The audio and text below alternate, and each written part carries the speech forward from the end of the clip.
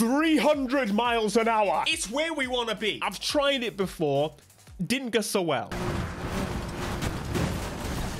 We're back with Need for Speed Unbound. This is my Skyline. And the Skyline is something I have to use every day. I, I have to. It's, uh, what what am I gonna do? Fun little facts for you. I really want the hood that's on this car. And uh, I, I looked at it and it's gonna cost me about four grand. Not gonna happen for a while. Unless you, uh, you know, super... anyway, we are playing Need for Speed Heat, and the reason we're playing is we're gonna actually reach. I'm determined we are going to hit 300 miles an hour today with the new Need for Speed Unite update. As you can clearly see, there are some differences with the handling. That is for sure. Handling is a huge topic at the minute for Need for Speed, considering that Unbound is, well, it's coming out, and we're really hoping to see some changes. This thing is properly grippy. It's all-wheel drive and I put all-wheel drive options on it as well. I don't know why. But saying that, the Skyline definitely feels rear-wheel drive in this game beforehand and now he's definitely pulling like a damn train. Oh, all good, all good. Yo, boost! 250 miles an hour topping out the Skyline. You know, that's kind of believable, to be honest. I have to say it's pretty damn epic to be lapping them like it's nothing this thing is definitely faster. So let's get into what is new. In the performance customization, you can already see that R34 GTR is max. The only thing that's not quite there is the power. So there's been some changes here. The tires have once again changed. You know, part of me wishes they wouldn't keep changing them. However, this looks to be a better way to do it. So we've got rally tires, drag tires, competition drift tires, grippy drift tires, semi-slicks, which is pretty damn cool. And the ones I've got on is the Pirelli race tire. Is Pirelli giving you money? I need to know because I would like some too. But essentially, these are the tires for grip.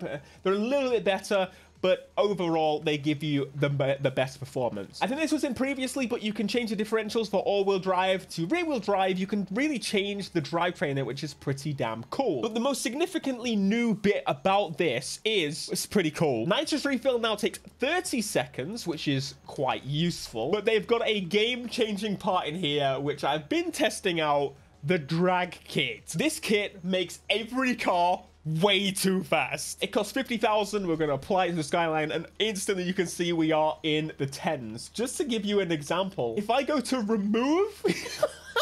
the best part, even if I was going to put super on there, it's not even bugging down from the tens. What on earth level is this? All right, let's give this a go. I have to say, I always play daytime, but this definitely looks the best. Here we go, starting off. oh my. Jesus Christ, 200 miles an hour like it's absolutely nothing. This is a Skyline. This ain't no Bugatti. This ain't no uh, McLaren. Oh my God. That's another thing that's changed is the handling mod. I have to say I had a little bit of trouble with it because I think they swapped some rally tires from being grip last time to now being rally tires again. It was a little bit confusing. However, these grip tires are awesome. I jumped between the simulation and arcade handling. I'm using the arcade handling that they released. Main differences I found is the arcade is actually much better to control. It's a lot more back and forth, but I, I kind of like that. It gives you more control over the car. You, you, you can fix the mistakes, and that's what what arcade racing can and should be. I haven't really liked the Unite handling mods in the past before, but this is definitely their best yet. All right, let's find someone where you can... Oh! oh my god. Let's find someone where you can... That's a solid wall. I just want to test the speed. Here we go.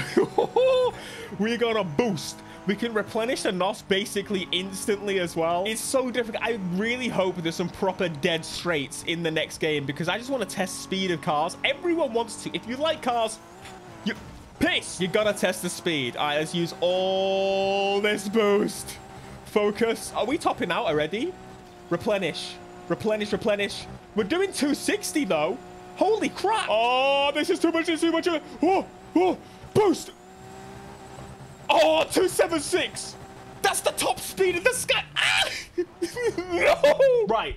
Skyline's not fast enough because I still haven't got the Ultimate Plus parts. I'm just taking them off this. Can it be known that the, the level's just not moving?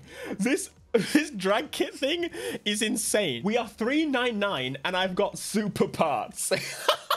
Moving on to the RSR then. Uh, there's a reason I particularly want to use this and that's because it's an older car. The cars you make slower faster. Well, they have just a crazy effect that I definitely want to try because this is new as well. Something I love about this is how the drift Sorry. Something I have loved about the Unite mod is how the handling makes the drifting instantly feel kind of heavy. Makes it so the car kind of swings around. I really do like that. And that's a, a, depth that I would love to see in the normal handling. Now, this thing is obviously it's OP, but what do you call this? I'm going to pull my phone up and we're going to do a stopwatch. Watch this 0 to 60. Go. Stop. Uh, 142 Tesla in the bin. So literally the only reason I want to do this, you already know I love camera shake and most people don't like it. We can now do 200% on the camera shake. Hell yes. Now you exactly know what I mean based on the fact that the camera shake shakes more when you upgrade a slow car to be fast. So let's, I mean, not that this is particularly slow. Right, give it the beans. Holy shite. What the Please don't smack into literally everything. Everything in the way is going to be smashed till I get the top speed of this thing. Oh! crap! Crap! Oh! I am so sorry, Arisa. It's fine. So that was, uh, that was easy. You know it's a good crash when it takes about 20 minutes to load.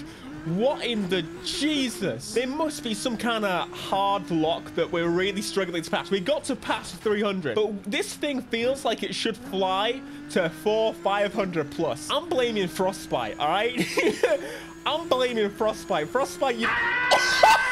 Where's the bridge? I'm, I don't even need NOS to get 300 in this thing. No, no, lose my speed right before that pissing bridge. Come on, come on, come on. Oh, yeah, go on the wrong side. No, it's fine. Ah! Ah!